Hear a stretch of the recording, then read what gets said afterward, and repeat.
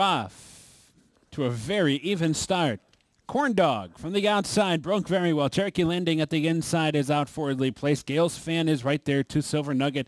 Hunter Man Ken punches on through, and that's going to leave Corn Dog very wide into that clubhouse turn. Cherokee Landing on the inside cuts the corner nicely, leads by just a half a length to Silver Nugget in second.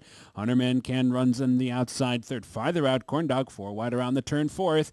Gales Fan backs off the pace, settles into fifth. Langhart working out a nifty trip already, saving all sorts of ground around that first turn. Right at mid-pack at about five or six lengths off the lead. Then it's Route and high-low game at the back of the pack as Humble Jerry in the trailer is first to bingo. They sauntered through that first two furlongs in 25 seconds flat, and there are four furlongs now to go. Cherokee Landing cruising along up top. Silver Nugget really applying just mild pressure as they race to the far turn.